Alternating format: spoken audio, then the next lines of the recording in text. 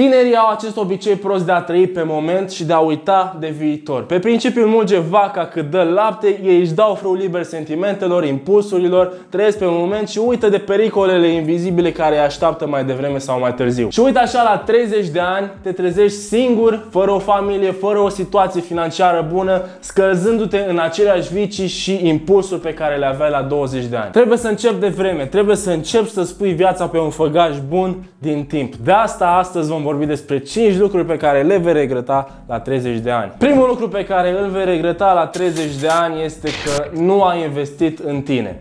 Auzi chestia asta tot timpul, a investi în tine, dar ce înseamnă cu adevărat? A investi prin definiție înseamnă a sacrifica ceva în prezent pentru a obține ceva mai valoros în viitor. Și ce sacrifici? Sacrifici timpul petrecut cu prietenii, sacrifici timpul petrecut pe jocuri, sacrifici timpul petrecut pe TikTok, sacrifici plăcerea de moment, sacrifici comoditatea ta. Sacrifici toate asta pentru a învăța cum să vorbești, a învăța cum să te comporți, a petrece mai mult timp cu oameni care știu mai mult decât tine, pentru a învăța mai multe despre un anumit subiect, pentru a arăta mai bine, pentru a fi o persoană mai bună în viitor. Așadar te întreb, cât timp ai petrecut citind anul ăsta? Câte cărți ai citit? De câte ori ai fost la sală? Cât timp ai petrecut cu oameni care știu mai mult decât tine? Ei bine, poți spune, Edi, am investit destul în mine mergând la școală, am sacrificat destul, e suficient.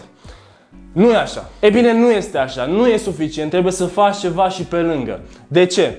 Pentru că școala te învață niște lucruri care nu au o aplicabilitate prea mare în viața de zi cu zi. E un sistem închis. Te învață niște lucruri ca să treci niște teste date tot de ei. De asta sunt o grămadă de studenți, de elevi care performează în instituțiile de învățământ. Au numai 10 pe linie.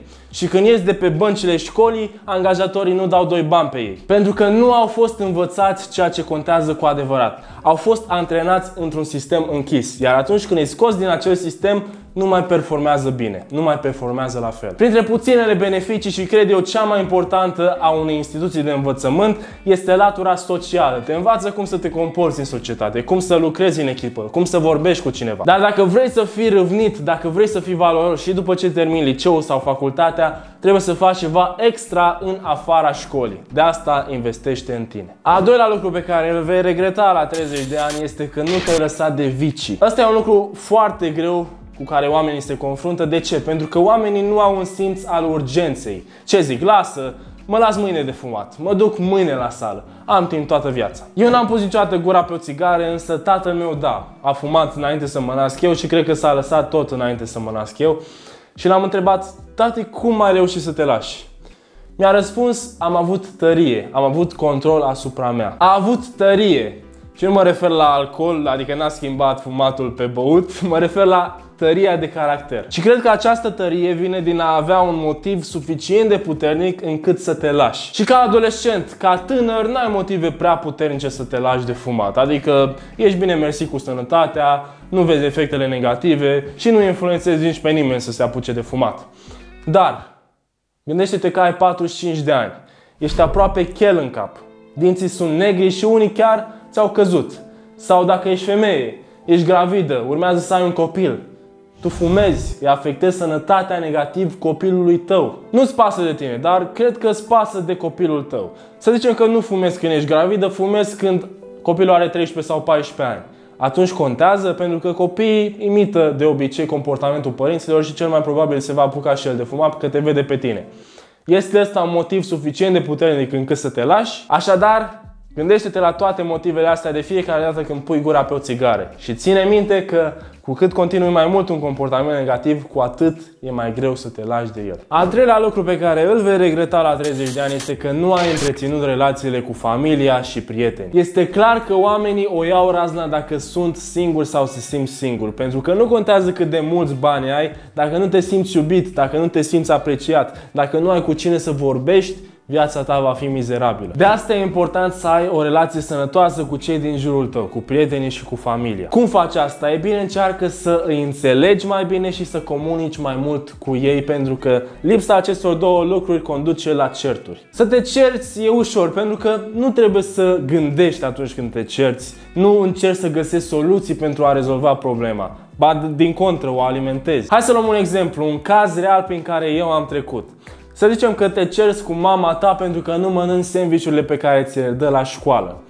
Ajungi acasă și ea găsește sandvișul în ghiozdan nemâncat și începe să te certe pentru că ea depune efort să facă sandvișul ăla și tu nu-l mănânci. Îi spui că nu-l mănânci, că nu-ți place și ea din nou începe să te certe că de ce nu-ți place, că ea dă bani pe ingredientele alea, că sunt ingrediente bune și ar trebui să-ți placă. Ce greșești tu aici? Ce greșești de fapt este că nu îi spui toată povestea, nu îi explici exact de ce nu-ți place. Poate nu-ți place pentru că e brânza prea sărată și ție nu-ți place brânza sărată. Cazul meu. Nu-ți place că e carnea prea tare și vrei o carne mai moale. Dacă îi spune, mami, uite, schimbă chestiile astea și poate o să mănânc, poate o să-mi placă.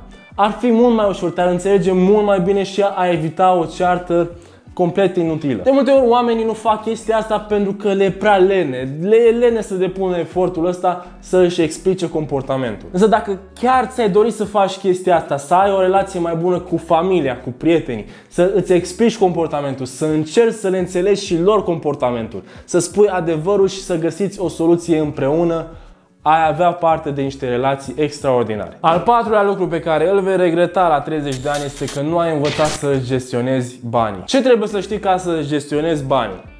Ce intră și cât intră, ce iese și cât iese. Cu alte cuvinte, care sunt sursele tale de venit și cât intră din fiecare sursă și pe ce cheltuiești banii și cât cheltuiești pe fiecare lucru. Trebuie să ai toate astea în ordine, să știi exact cursul banilor tăi. Ca să fiu mai organizat din punctul ăsta de vedere, mi-am descărcat aplicația asta numită Manager Bani. Și aplicația asta e foarte simplă, ai două categorii.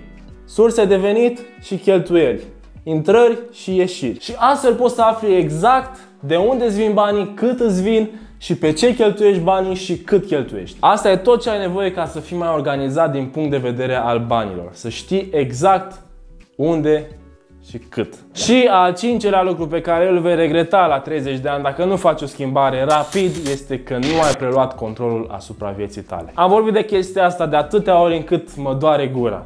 Să-ți asumi responsabilitatea asupra vieții tale, să-ți asumi atunci când greșești și să culegi laurii atunci când o duci bine. Să iei tu deciziile importante din viața ta, nu altcineva. Tu trebuie să le iei.